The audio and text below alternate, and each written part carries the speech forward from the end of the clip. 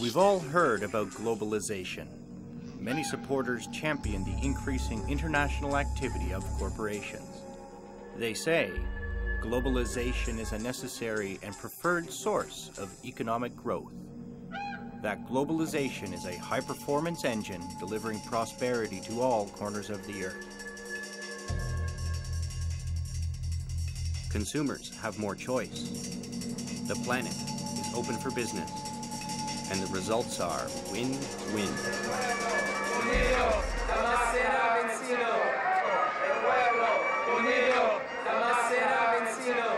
Not everyone is convinced. And they are challenging the conventional wisdom. These critics say that corporate globalization, globalization from above, has hurt many more people than it's helped. They say corporations are making the rules to suit corporate interests. That big business is demanding governments put profits before people.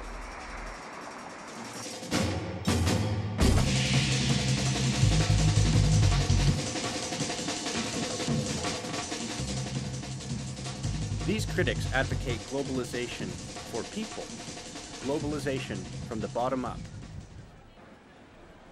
In November of 1997, frontline activists, organizers, and policy analysts from around the world passed a declaration calling for a new citizens' politics to challenge corporate rule through research, education, and action. The Council of Canadians, the Polaris Institute, and the International Forum on Globalization co sponsored an historic global teach in. The teach in took place in Toronto, Canada, attended by almost 2,000 people.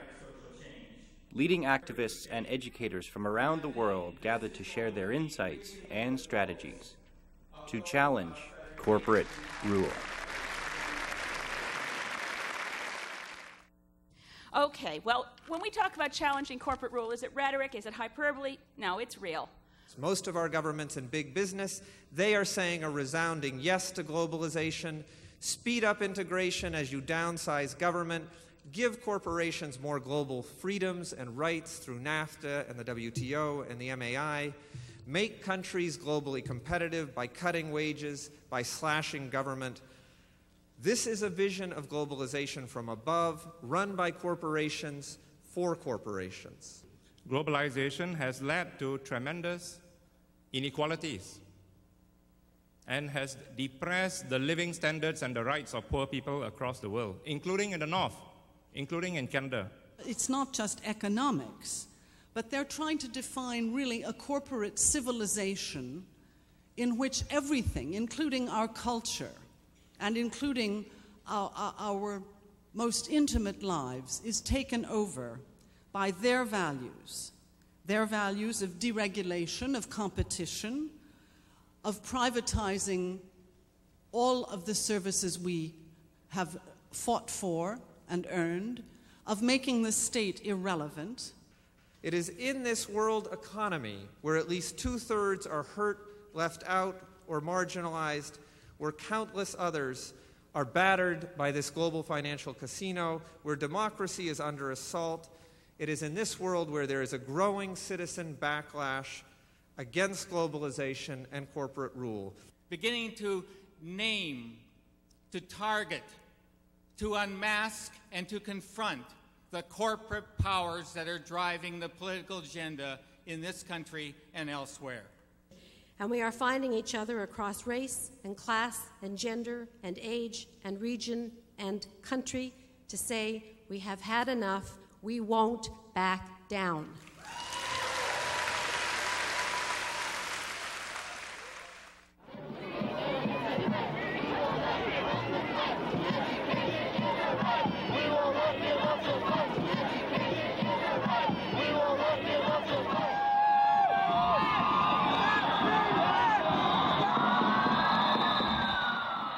Decided in Toronto to target Bay and King Street, which is the heart of the uh, Canadian Financial District.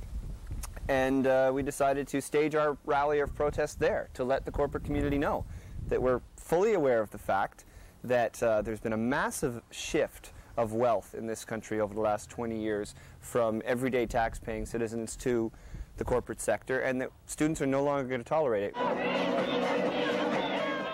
Having a viable, healthy post-secondary education sector is, is a choice. It's a political choice, and it needs to be done um, by those who have the courage to stand up and say, no, education is a right. It's a right of citizenship. It's not a commodity to be bought and sold. It's not something that you have to, you know, prove by the amount of money in your bank account. Our power lies out there on the street, out there in civil society, where we can bring people together and say, no, we want a fair society. A lot of people would like to think that we chose the CIBC consciously, but in the end, the CIBC was chosen because they were the only idiots brave enough to leave their door open.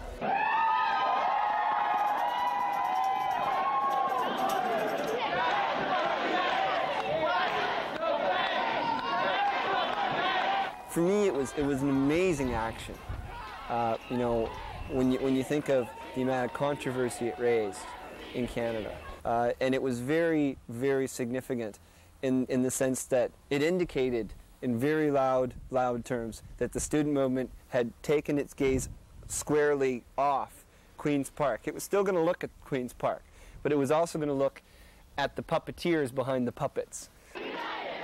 We're not just talking about, you know, having rallies, raising our consciousness, getting our uh, ideas out in the open. We're talking about taking action, taking direct action on the corporate community, uh, and in many cases, forcing them to lose money. And, and when we do that, when we actually take an action, a strategic action that, that, that shuts something down, uh, we actually affect the income of corporations. And if anything uh, gets corporations' attention, it's that. And I've seen international corporations up close, real close. Who do these corporations belong to? Well, they certainly don't belong to their workers. I've heard them threaten workers with taking away their jobs unless they made major concessions and rollbacks in wages and benefits. They don't belong to their suppliers. They don't belong to the communities where they're situated. I've seen them close facilities and throw workers in the economic scrap heap as they played workers off against each other in various cities and also in countries around the world. With free trade, corporations bid down wages and working conditions to the lowest common denominator, so we are witnessing the growth of bad jobs everywhere with no benefits, part time, temporary, contingent. We're not in the age of exploitation anymore. Exploitation today is a kind of a privilege. We're in a world of exclusion. These corporations are producing eight times more than they were in 1980, but they're doing it with the same number of workers that they had in 1980. They decided that if you have a higher rate of unemployment, you will have a lower rate of inflation, and that's good for the stock market. And the people who own the stock market, who control the stock market, are in power today. So they engineer a higher rate of unemployment in order to reduce inflation. And that's why we don't have jobs.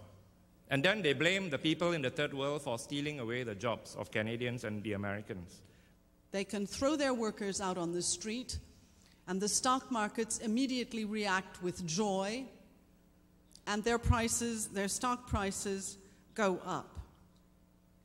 That is the proof that they don't belong to anyone but those who have invested capital in them. They belong to their shareholders. End of story. Punto e basta. Ladies and gentlemen, consumers and fellow shareholders in Canada Inc., I'd like to welcome you to this emergency shareholders meeting.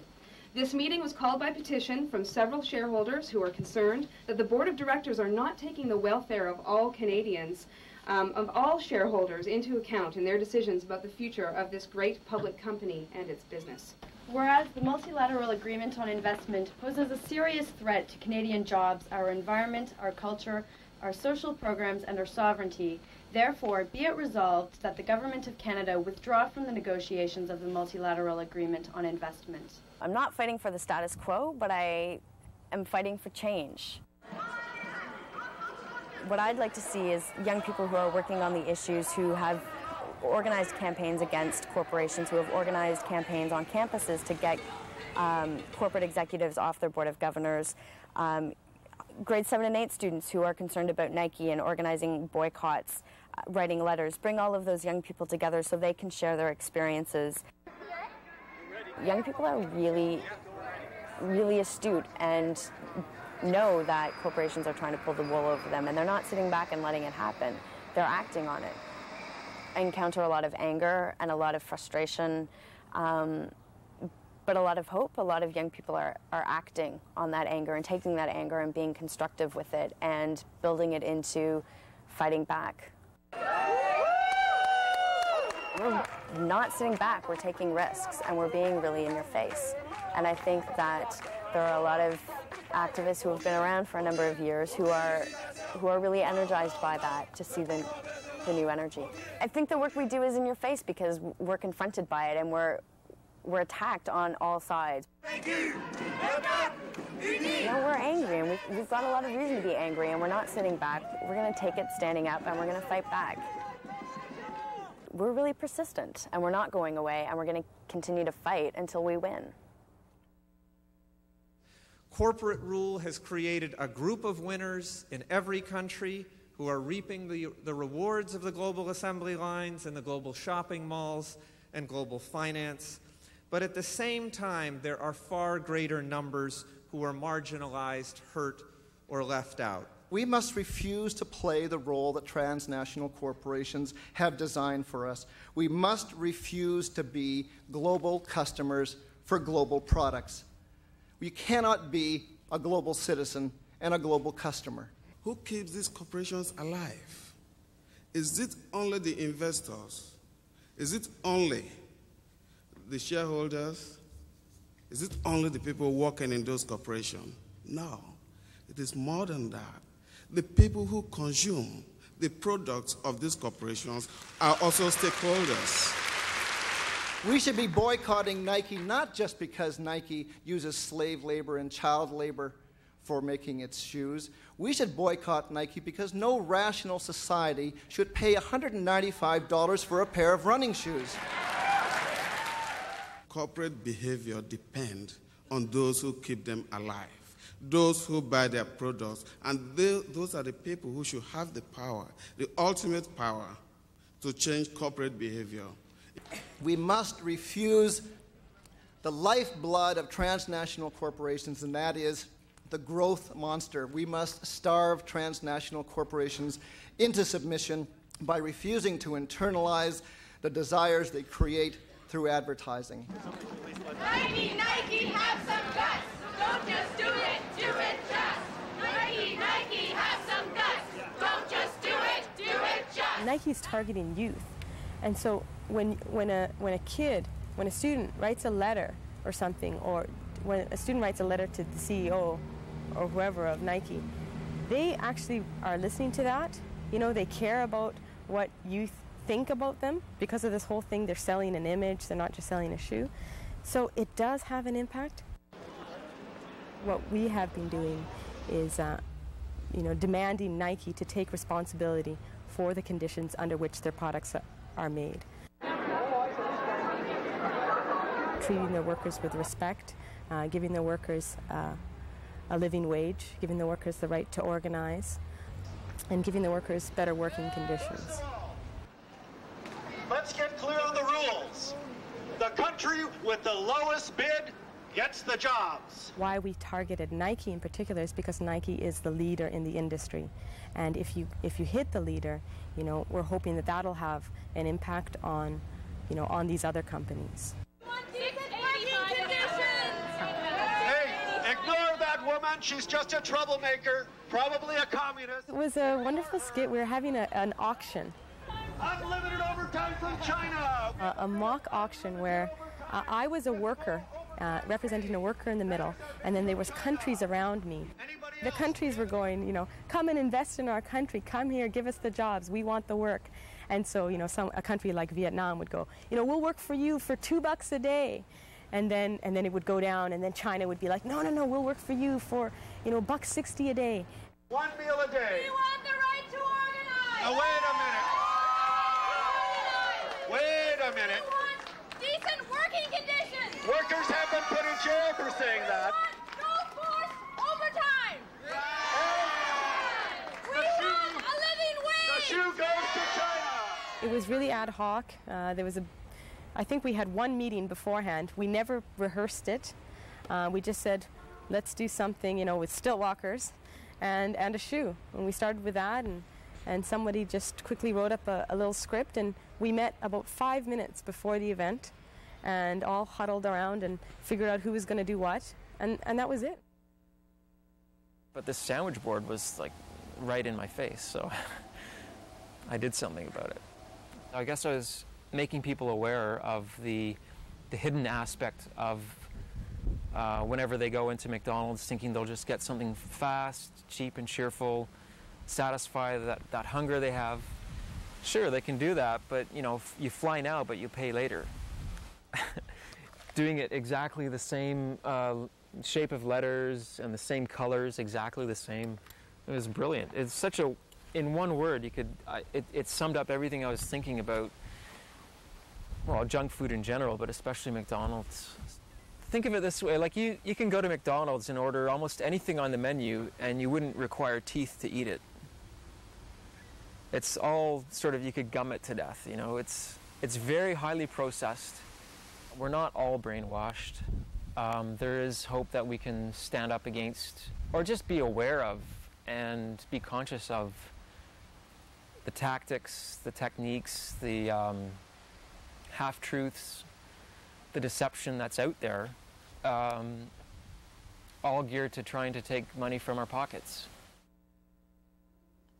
I would like to just communicate to you that if you are feeling the pinch, you can understand the suffocation and the strangulation people, not only in, our, in Asia but Africa, Latin America, who are being having no rights to survive and to exist as healthily as they would like to, what they must be going through. 80 countries have living standards to today lower than 20 years ago. It is the forced liberalization of those countries under the theory of win win free trade. You know, win win. You will find it from most of your lecturers in the universities and most of the textbooks. That's because they have not visited those countries in the developing world where we come from. The 1995 World Health Report had included a new international classification of disease for the first time. It was Z59.5, and those of you familiar with health with that would know it stood for extreme poverty. A World Health Report is recognizing the fact that extreme poverty is increasing worldwide. We are having cholera epidemics, and in my when I was studying in medical college, I was taught people who wear ties don't get cholera.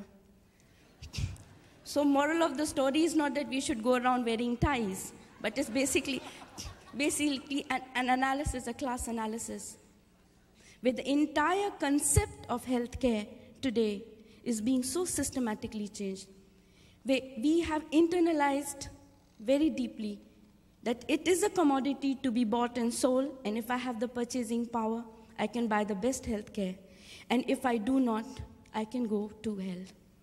The United Nations has come forward with data on what has happened to the countries and people of the world in the last 20 years. And they have found that in 1960, the richest 20% of people in the world had incomes 30 times more than the bottom 20%. But by 1995, the top 20% had incomes 60 times more than the bottom 30%. You might say that inequality doubled in that period.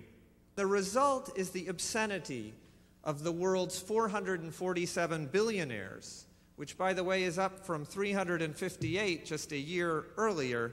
This handful of 447 billionaires controlling more wealth than the collective income of the bottom half of humanity. The freedom and the power of those companies to have, in technical jargon of today, to have market access. Market access is a very nice and gentlemanly way of saying I want to enter your country and your market, and you have no right to stop me. We are not going to allow our environment to be destroyed because of the greed of transnational corporations or because of the excesses of the way people live elsewhere. The elite of the world, fearing that resources are running out, are plotting so that the bottom 30 to 40 percent of the world's population will be deprived of their basic rights. We want our environment to be maintained, and we want to know if at all the oil should be taken, how many is being taken, and for what purpose, and so that some will remain for our children to come. It will not depend on what the West wants. It will depend on what we can be able to give away.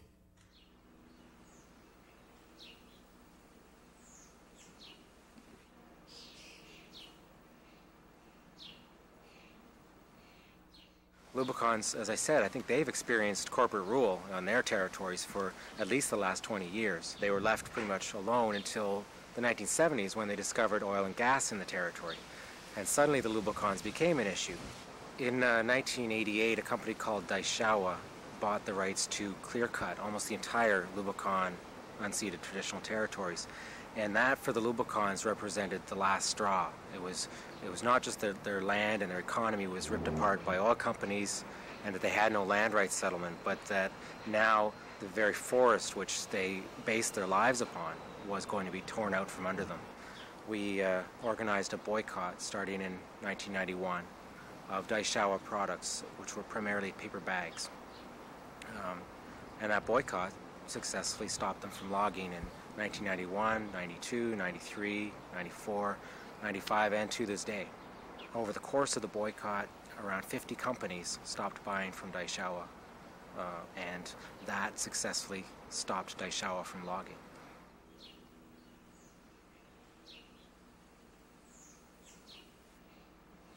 The lawsuit against the, the Friends of Lubicon was um, launched not just because they felt they had some kind of legal principle to defend, but as a, as a harassment technique and as a way of stripping away the power of individuals and groups to challenge a corporation. First, the judgment said that the Lubicon situation was tragic, desperate, and intolerable, and was exactly the kind of situation that people should be speaking out about. Secondly, of course, it said that our boycott was, uh, in a word, stunning. Well, that was how they put it. Um, and secondly, or lastly, it said that uh, the boycott was not only legal, but was an example of exactly how a boycott should be conducted in a democratic society. If government has gotten out of the business of regulating these people, there, there's no, they don't even touch them anymore, if they ever did, for that matter. Um, so who is going to regulate them? We kind of stepped into that void and said, government not only is not regulating them, they're helping them, giving them corporate welfare, doing everything they can to help them destroy Lubicon territories. So who's going to stop them? And we found that the power of the average person was the only way we could stop them. Social change isn't just a matter of a polite uh, exchange of ideas with the government or with the companies, a, a, dialogue and a nice sort of process. It's actually a down and dirty, you know, slugfest with these people. It's nothing nice about it. You have to uh, be persistent and not expect things to cha change overnight. You have to be uh, willing to put in a lot of hours in meetings, writing letters, phone calls, talking to people on the street, uh, get, putting together events. I mean, whatever it is, um, there's a, so many hours of work that go into that that sometimes it seems like you're knocking your head against a brick wall uh, and you're just spending all your time doing things that are really not that exciting. But um, when you look at it, you step back and look at it in the long-term perspective, um, you can see changes being made, and you can see that that work pays off. That I know international corporations have an enormous amount of power, and we have to keep attacking them, but we also have to keep attacking their mouthpieces who go into political office. Those politicians are bowing and scraping to the companies. They are interfering in the free market on behalf of the companies.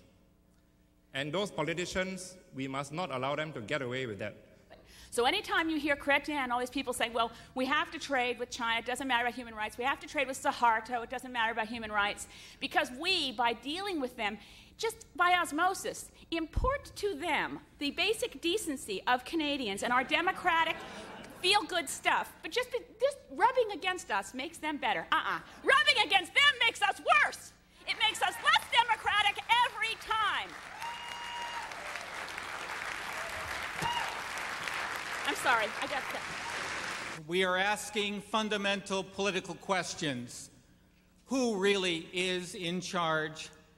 Is it democratically elected governments or is it really transnational corporations who are unelected and unaccountable? Here's a quote from the CEO of Louisiana Pacific.